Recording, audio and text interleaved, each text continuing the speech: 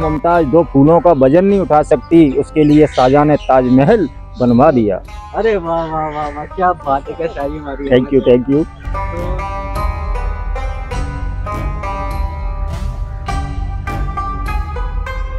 जो शाहजहाँ के एक सिप, मतलब सिप, सिपा सलार भी हुआ करते थे और प्रधानमंत्री भी हुआ करते थे और दुनिया उन्हें महल के बाद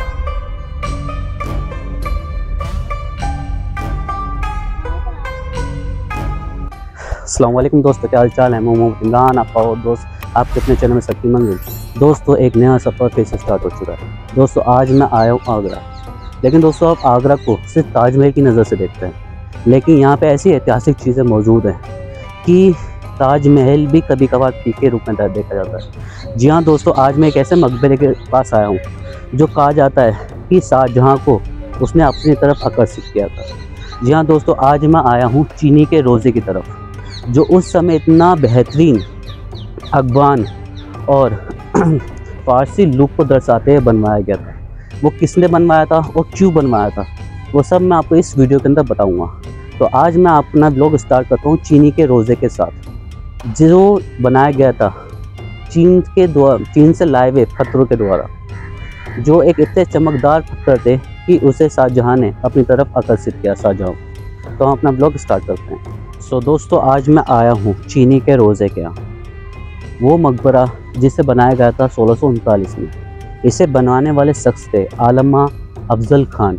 आलमा अफजल खान शाहजहाँ के एक सिपा सलार हुआ करते दोस्तों और एक मतलब उनके दरबारी भी थे। दरबारी के साथ साथ दोस्तों उन्हें कवियों का भी शौक था जिसके वजह से उन्हें आलमी कवि के नाम से भी जाना जाता था। दोस्तों चीनी का रोज़ा एकमात्र ऐसी इमारत है जिसे शाहजहाँ का दिल अपनी तरफ़ आकर्षित किया। जी हाँ दोस्तों, जब सोलह में जो आलमा अफजल खान थे, वो एक रहीज़ इंसान हुआ करते थे, यानी कि वो एक दौलतमंद इंसान थे उस समय में। और उन्होंने अपना एक मकबरा बनवाने का सोचा। वो मकबरा, उनकी नज़र में एक ऐसा मकबरा था, जिसके अंदर वो अगवान शैली और फ़ारसी शैली को मिलाकर एक इमारत तैयार करना चाहते थे। आप जो इस इमारत को देख रहे हैं इस इमारत के अंदर आप देख रहे होंगे, ये एक फ़ारसी और अफगानी लुक दे रहा है। जैसे अफगान के अंदर जो महलात बने हुए हैं और फ़ारसी लोगों ने जो महलात बनाए हैं, उसके अंदर इसका स्ट्रक्चर आपको मौजूद दिखाई दे रहा होगा। ये जो आप नीली कलर की देख रहे हैं टाइल्स इसके बाहर की, ये सब अफगान शैली के अंदर आती हैं दोस्तों। ये देखिए, ये जो पूरा नीला कलर था, ये सब अफगान शैली के अंदर आते थे, जो इसके अंदर गमले वगैरह सब बने हुए हैं। ये सब उस समय में अफगान शैली के अंदर आते थे दोस्तों। और इसका पूरा इलाका मतलब पूरा स्ट्रक्चर जो इतना बड़ा ये गुम्मत बना हुआ है, यानी कि महराब आप इसे देख रहे हैं, ये पूरा महराब अफगानियों की एक पहचान खिलाया जाता था। और इसके अंदर जो कलाकृति हुई हुई पूरी, ये अफ़गान की और फ़ारसी शैलियों में से एक है। आप ये देख सकते हैं। देखिए दोस्तों, ये जो आप मतलब जो डिज़ाइन देख रहे हैं, ये अफगानियों का डिज़ाइन हुआ करता था दोस्तों। और जो ऊपर की साइड आप देख रहे हैं ये फ़ारसी लोगों का डिज़ाइन था, जो आलमा अफजल खान ने अपने मकबरे के अंदर बनवाने का फ़ैसला किया। और यही वो कारण बना जब शाहजहाँ ने मतलब शाहजहाँ को इस मकबरे को देखकर मतलब अपने ताजमहल के अंदर, जो वो ताजमहल का निर्माण उन्होंने स्टार्ट करवाया था, उसके अंदर एक आइडिया मिला कि मैं भी एक ऐसी, ऐसा पत्थर यूज़ करूँ जो दूर से ही चमके और लोगों को अपनी तरफ़ आकर्षित करे। तो जो मलबा ला वाइट संगमरमल का जो ख्याल था, वो इस चीनी के रोज़े को देखकर ही शाहजहाँ के दिमाग के अंदर आया था। लेकिन दोस्तों, अफजल खान जो थे, वो कवि तो थे, लेकिन उनकी मृत्यु होने से पहले उन्होंने ये क्यों बनवाया? क्योंकि कहा जाता है, अफजल खान वो शख्स थे, जो उस समय शाहजहाँ के मतलब शाहजहाँ के टाइम पे, वो एक ऐसे दरबारी के रूप में जाने जाते थे कि जब वो उनकी सभा में बैठते थे तो वो एक मतलब एक प्रधानमंत्री, जो उस समय प्रधानमंत्री हुआ करते थे राजाओं के, वो उस नज़र देखे जाते थे।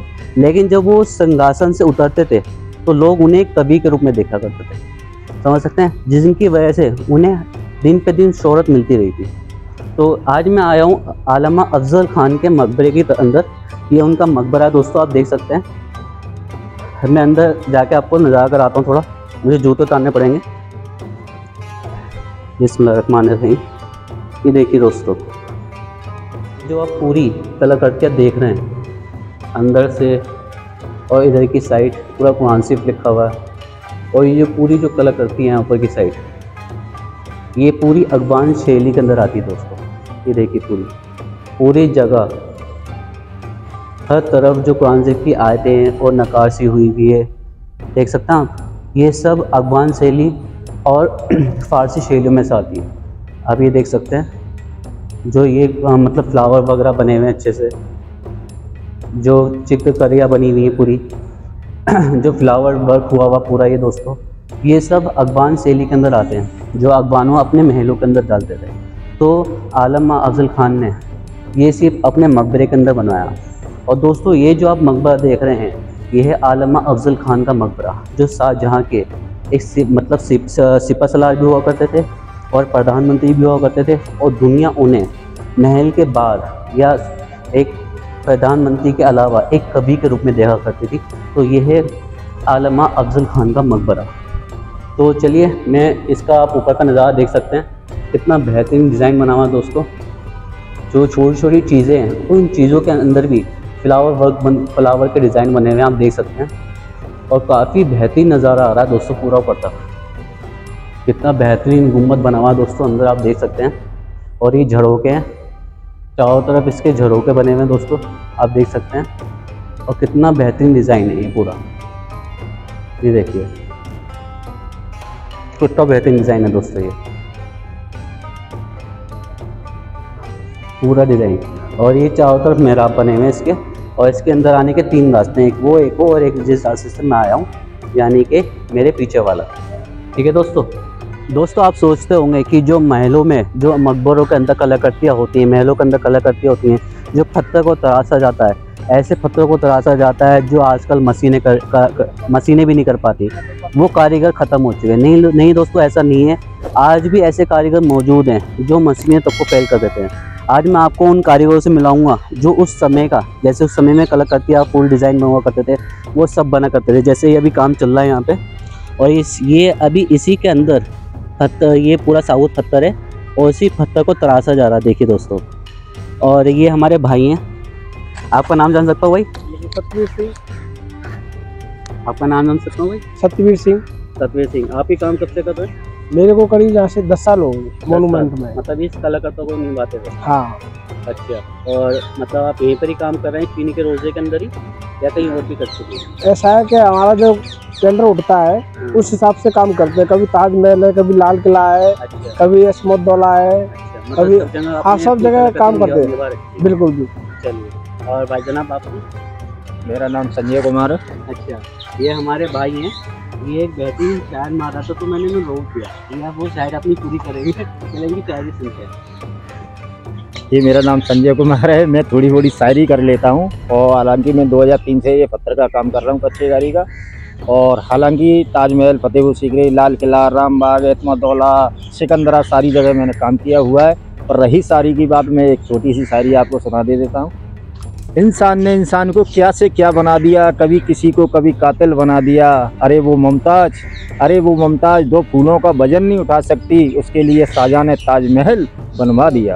अरे वाह वाह वाह वाह क्या बात है क्या शायरी मारी थैंक यू थैंक यू तो दोस्तों ये वही चीनी का मकबरा है जहाँ पे हम आए हुए थे और हमारी मुलाकात इन भाइयों से हुई है। जिनकी कलाकृति देख के वाकई में ये एहसास हुआ कि वाकई में आज भी ऐसे कारीगर मौजूद हैं जो इस इस तरह की कलाकृतियाँ करते हैं। इन भाइयों ने काफ़ी ऐतिहासिक जगहों पे काम भी किया है और आई थिंक ये दिल्ली तक भी जा चुके हैं। दिल्ली तक भी जा चुके हैं और मतलब इनकी कारीगरी देख के काफ़ी अच्छा लगा। तो शायद जब आप आएँ तो ये यहाँ पे ना हो किसी और स्मारक के अंदर काम कर रहे हो। तो मैंने आपको अपने ब्लॉग के अंदर इनसे मिलवा दिया है। तो ये चीनी के रोज़े के पास ही ये काम कर रहा है। तो हम चलते हैं अंदर की साइड तो दोस्तों, मैं मकबरे के बाहर आ चुका हूँ। मकबरे के बाहर आने के बाद एक ये तला मतलब एक झरना बना हुआ है, जहाँ पे अब पानी नहीं है। यानी कि एक हौज बना हुआ पूरा। इस जगह से पानी आता हुआ समय में। और ये पूरा तालाब मतलब हौज था। और उसके सामने ये मकबरा बना हुआ है। दोस्तों, आप समझ, आप सोच रहे होंगे चीनी क्या नाम है? कि किसी मकबरे का चीनी नाम हो सकता है, चीनी का रोज़ा। तो दोस्तों, चीनी वर्ड इसका कैसे पड़ा? दोस्तों, इसके काय से बनवाने में चीनी मिट्टी का यूज़ किया गया था और जो उसके ऊपर टाइल लगी थी, वो चीनी मिट्टी से टाइल बनी हुई थी, जिस वजह से उसका जो रंग था, वो सफ़ेद रंग हुआ करता था, यानी कि चमकदार रंग था। ठीक है? तो वो जो टाइल्स थी, दोस्तों, वो चाइना से मंगवाई गई थी, यानी कि चीन से, जिसकी वजह से वो चीनी नाम करके मशहूर हुआ और जब इन्हें दफनाया गया तो इसका नाम चीनी का रोज़ा रखा गया। यानी कि इस टाइल्स को हिंदुस्तान में लाने वाले आलमा अफजल खान थे, पहले शख्स आलम अफजल खान थे, जिन्होंने इस चीनी टाइल्स को हिंदुस्तान में एंटी दिलवाई। तो इसी वजह से इस पहले मकबरे को चीनी का रोज़ा कहा गया। यानी कि चीनी, चीन से द्वारा लाई गई चीनी टाइल्स को लगाकर इसे चीनी रोज़े का नाम दिया गया। आप इसके चारों तरफ़ का स्ट्रक्चर मैं आपको दिखाता हूँ। तो आप देख सकते हैं चारों तरफ़ से एक बिल्कुल एक सेम आकृति बनी हुई है। देखिए, चारों तरफ़ से सेम आकृति है इसके बिल्कुल। और चारों तरफ़ से ही ये कमरे बने हुए हैं। चार कमरे बने हुए हैं इसके अंदर। एक कमरा ये एक कमरा ये एक कमरा, वो एक कमरा उधर की साइड और ये चारों तरफ़ से एक जैसा है देखने में। दोस्तों, इनकी मृत्यु सोलह के अंदर हुई थी, समझ सकते हैं। और उसी के बाद इन्हें इस जगह दफनाया गया था। आप दोस्तों जो ये अफजल खान थे इनका पहले नाम था सकुल्ला सिराजी। समझ सकते हैं? सकुल्ला सिराजी नाम था लेकिन जहांगीर ने इनकी कविता को मद्देनज़र रखते हुए इन्हें आलामी नाम की कविता पुस्तक लिखने की माया की जिसके बाद जहांगीर ने इन्हें अफजल खान के नाम से नवाजा। समझ सकते हैं? दोस्तों ये शाहजहाँ के सेनापति भी हुआ करते थे जैसे कि मैंने आपको बताया। और सिपा सलाद भी हुआ करते थे। तो शाहजहाँ ने इन्हें अपनी मतलब उनके अंडर सात से आठ हज़ार सिपाहियों को इनके निगराने पेश किया। यानी कि वो उनकी सेना हुआ करते थे अफजल खान की। एक कभी कभी की सेना हुआ करती थी आठ हज़ार की। आप सोच सकते हैं, इन्हें उस समय इतना मान दिया गया था। और दोस्तों, कहा जाता है, ये अपनी ही मौत मरे थे, जिसके कारण इन्होंने पहले ही अपना मकबरा बना लिया था और उनकी मौत के बाद उन्हें इसी जगह दफनाया गया। दोस्तों, ये ताजमहल से डेढ़ किलोमीटर दूर की दूरी पर है और एतमातुद्दौला से मात्र एक किलोमीटर की दूरी पर है। अगर आप आगरा में आते हैं तो चीनी के रोज़े ज़रूर आइए। वो इमारत जिसे शाहजहाँ मतलब शाहजहाँ को अपनी तरफ़ आकर्षित किया और शाहजहाँ को एक आइडिया दिया कि ताजमहल के अंदर एक ऐसी पत्थरों का यूज़ किया जाए जो उससे पहले इंडिया में कभी यूज़ ना हो। तो उन्होंने संगमरमर का इस्तेमाल किया। जैसे इन्होंने चीनी, चीन से मंगवाए हुए चीनी टाइलों का इस्तेमाल किया। ये आप पूरा जो आकृति देख रहे हैं, ये उस समय में चमका करती है दोस्तों, चीनी टाइलों से और इसके नीले और हरे रंग जो चाइना से मंगवाए गए थे उस समय भी, यानी कि चीन से, उस समय में चीन था, चीन से मंगवाए गए थे। ये जो पूरी आकृति आप देख रहे हैं, ये उस समय चीनी पत्थरों से और रंग बिरंगे यानी नीले भरे नील रंग, रंगों से भरा हुआ करती थी, जो उस समय में दूर से आकर्षित किया करता अपनों को। तो दोस्तों ये है चीनी का रोज़ा जो आगरा के अंदर स्थित है। यहाँ गर्मी काफ़ी और आप धूप भी देख रहे हैं काफ़ी ज़्यादा तेज़ है। लेकिन इसे देखने के बाद एक दिल मंद मुंद हो गया आप समझ सकते हैं। यानी कि एक दिल के अंदर एक इच्छा सी जागी कि आगरा के अंदर और क्या क्या चीज़ें हो सकती हैं। तो आज मैंने आपको दिखाया चीनी का रोज़ा। अगर आप इस, इस चैनल पहली बार आए तो चैनल को लाइक करें सब्सक्राइब करें शेयर करें और इस वीडियो को ज़्यादा ज़्यादा शेयर करें। ताकि लोगों को पता चले कि आगरा के अंदर ताजमहल और किले के अलावा और भी बहुत चीज़ें देखने के लिए। तो आशा करता हूँ ये ब्लॉग आपको पसंद आया होगा। मिलते हैं एक नए ब्लॉग करना जब तक अपना ध्यान रखिए। अल्लाह हाफिज़।